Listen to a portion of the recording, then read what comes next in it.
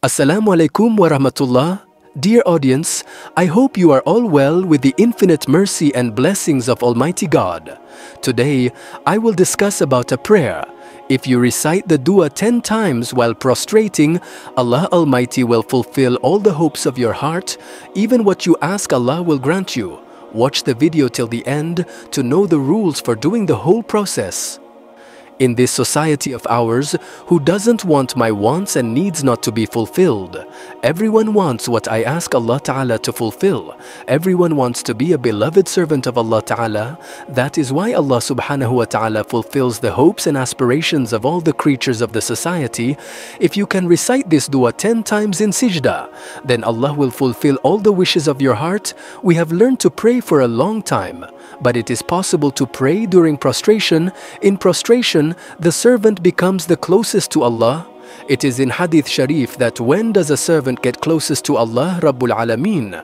The only answer to this is in the Hadith Sharif. The Messenger of Allah, may God bless him and grant him peace, said that a servant is closest when he prostrates to Allah then there is no barrier between the slave and Rabbul Alameen. Subhanallah, Allahu Akbar, Allah Ta'ala will accept what you ask for.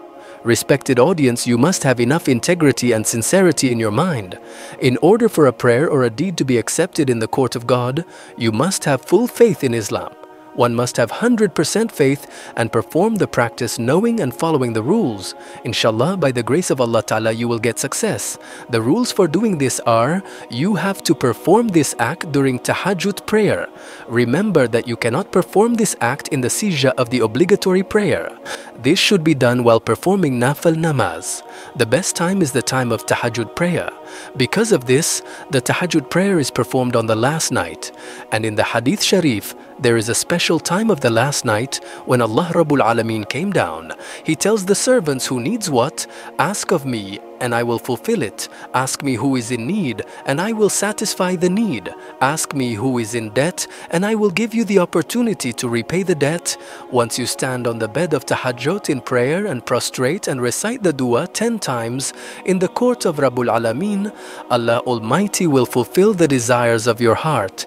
Inshallah, the prayer is a verse of the Quran.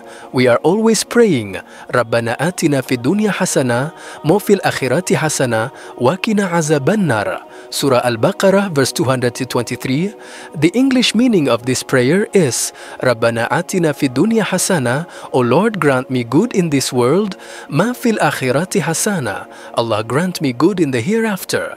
Waqina azaban nar, O Lord save me from the fire of hell be it the first sajda while you are prostrating inside the tahajjud prayer, be it the second sajda in every rak'ah. Sajda recites tasbih, recite the prayer 10 times from the heart with tears in your eyes while in prostration, read 10 times. Astaghfirullah, you read Durud Sharif a few times after finishing the prayer, then pray to Allah. Insha'Allah, insha'Allah, Allah will grant you whatever you want. They are called the greatest supplications described in the Holy Quran. This dua was recited most by Prophet Muhammad. Dear viewers, you have become the closest servant of Allah Ta'ala in the world. Only tahajjud prayer is the result of this.